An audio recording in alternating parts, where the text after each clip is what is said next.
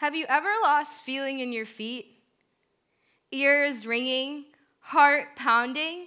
Have your palms ever been so uncomfortably sweaty? Sound familiar?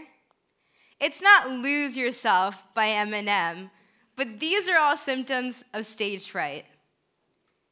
Standing in front of you right now, I can't feel my feet. My ears are ringing, my heart is pounding, and my palms are sweaty.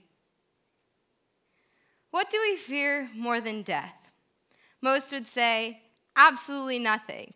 But surprisingly, more people are afraid of speaking in front of a crowd than they are of dying. Although dying is inevitable, public speaking can make you feel like you are actually dying. Statistically speaking, 75% of this room has experienced glossophobia, or the fear of public speaking. I hope you can see the irony of me giving a TED talk about this subject. Stage fright has crippled me for as long as I can remember, but I've never wanted it to ruin my life. I don't think it will truly disappear, but I continue to conquer my fear. As a little kid, I was quite shy growing up. I remember being the new kid in first grade and not being able to talk to a single person. When I was faced with the opportunity to speak in front of a crowd, I would cry. Slowly, I began to make friends, and one day my best friend shoved me into the audition room for the spring musical, The Little Mermaid. Without gadgets and gizmos aplenty, I had just my tone deaf self. That day, my best friend had both literally and figuratively shoved me into public speaking, which has transformed who I am and how I express myself. As I got older, I became louder and intentionally placed myself in situations where I'd be forced to speak in front of large crowds. In middle school, I competed in, I competed in national competitions, eventually landing where I am today.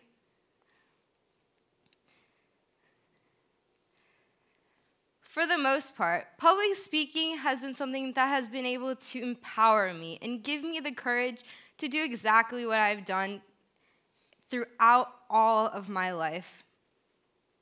Let me set the stage for you. In eighth grade, me, unfortunately, the same five foot three inches, standing in the center of a crowded room during the speech competition finals. I felt defenseless and exposed. But I was determined to push through. Okay, I want you to close your eyes for a second and take a deep breath. Do you feel the anticipation in the air? How about the blood roaring through your ears? Are you trembling yet? I'm not the only one who's felt this before. I'm sure it's familiar for some of you. This is how I felt before the beginning of my Cancer We Have an Answer speech. Cancer has been a really difficult topic for me to talk about, not only then, but even now. My grandma was diagnosed with non Hodgkin's lymphoma for over six years. This speech not only gave me the opportunity to express my emotions, but also inform my audience about cancer prevention techniques. Public speaking has allowed me to initiate change in my community simply through my words. By deliberately placing myself in situations where I'm forced to speak in front of large crowds, and today is no different, I understand that public speaking does not, stage fright does not control me. Rather, I control it.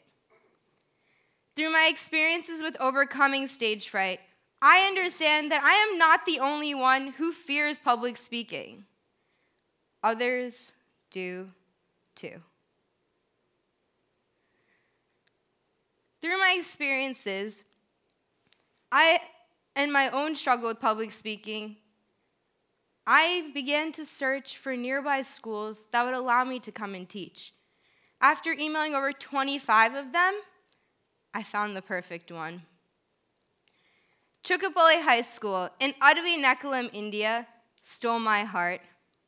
There, I was able to give my students my passion for learning and for, for public speaking and nurture their own hidden passions too. I was able to meet my one of my greatest mentors, Miss Sudha Chukkapally, who showed me each of the struggles my students faced every day. Public speaking has empowered me and given me the courage to motivate others. Because I know how transformative it can be, I founded Speak for the Future in the summer of 2016 to help students overcome the same stage fright that I battle. Speak for the Future is a nonprofit dedicated towards teaching students public speaking and creative writing, as well as combating child marriages for girls by providing scholarships. I am proud to say that I have been able to develop and teach a curriculum to over 250 students raise over $4,000, which is enough for 40 girls to go to school, and build a library at Chukkapally High School. The time I spent as a part of the Chukkapally High School community has given me a lifetime worth of memories. Not only was I able to nurture my students' hidden passions, but I was able to give them my hard work and dedication as I witnessed their infectious enthusiasm for learning. My female students, especially, went from furiously writing in their notebooks to powerfully voicing their opinions on issues affecting them and their communities. Two students in particular, and their stories affected me greatly. To start off class, I would ask a simple public speaking prompt What is one problem that you have faced, and how would you solve it? A seventh grader named Bhavna caught me completely off guard with her answer. She walked to the front of the room and began to speak, and then cried. It was heartbreaking to watch. After a couple moments, she collected herself and began to say that her mother had committed suicide a week ago. A seventh grader telling her class that her mother had committed suicide. Words that no teenager should have to ever utter left her mouth. She began to say that she did not know what to do. With her mother gone and left with an abusive father, her situation was far from perfect. However, over time, she harnessed her emotions and made a change in her community by advocating for mental health awareness. Another student who deeply impacted me was Anitha. During a recess break, I approached Anitha and asked why she wasn't running around with all of her friends. She told me she had been severely injured after being hit by a drunk driver.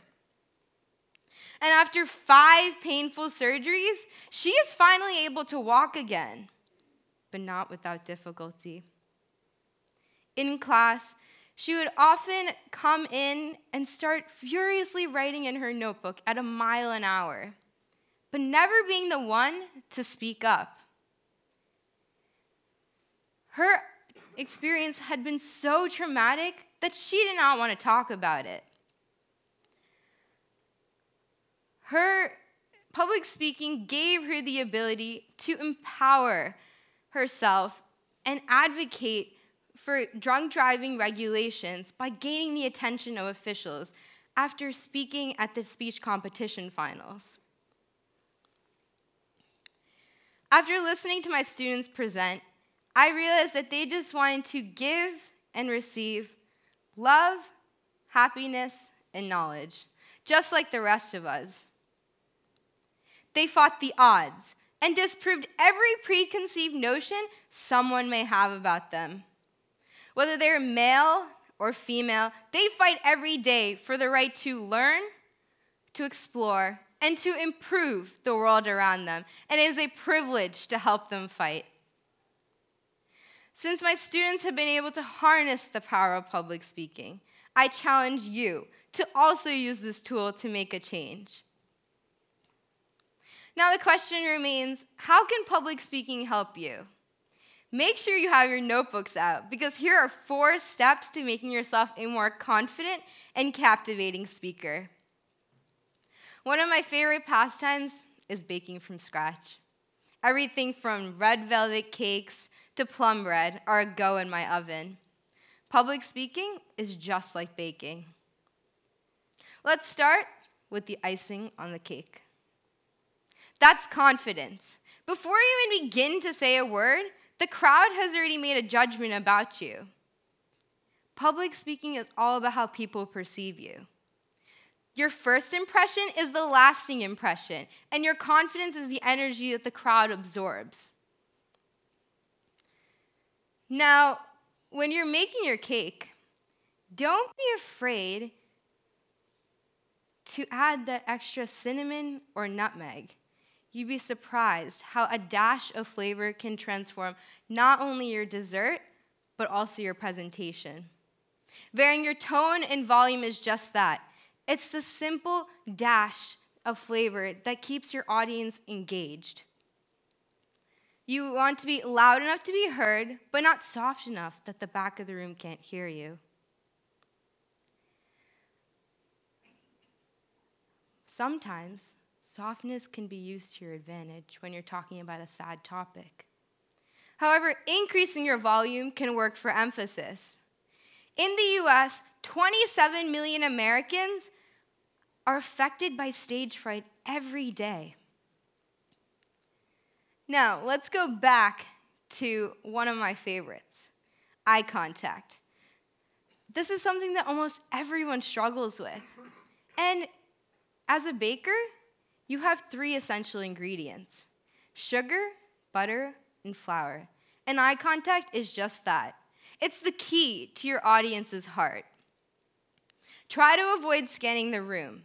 We're humans. We're not robots trying to analyze a situation, but rather we're trying to evoke emotion.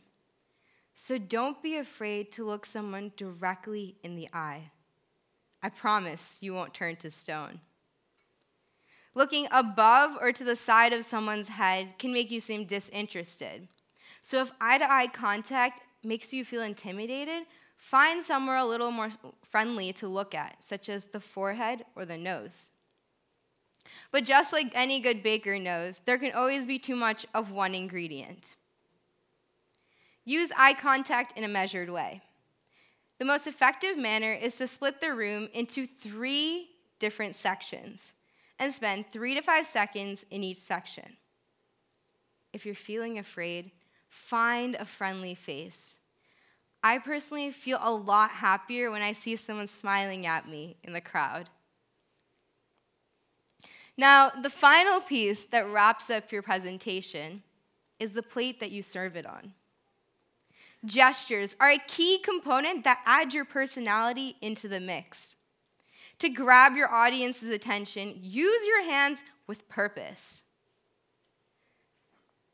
Now that the cake is complete, let's quickly review what we have learned. Eye contact, confidence, tone, volume, and gestures are your key components for a powerful speech. Time is of the essence, and with a minute to midnight, we're here to speak now and for the future. At this very moment, I still can't feel my feet. But it's okay to be afraid. I am a public speaker after all. I watched my students transform from timid and unsure to confident and well spoken as they face their fears. They have developed the ability to speak for the future, and I hope that you can too.